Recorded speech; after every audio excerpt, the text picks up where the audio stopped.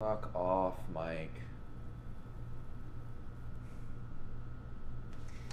Look, I know you're kind of new to this, but it's just how it goes. When I first got here, I, you know, I really thought I had this one. I mean, I really thought this was gonna be the one.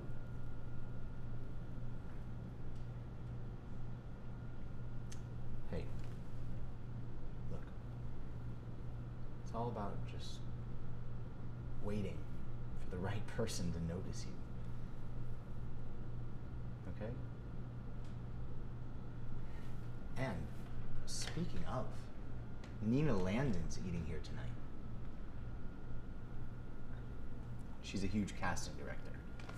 I have her table, but I'll give it to you. Maybe make a good impression. You'd really do that? Thanks.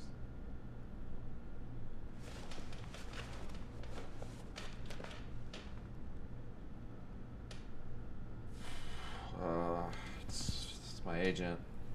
Huh. This will be fun.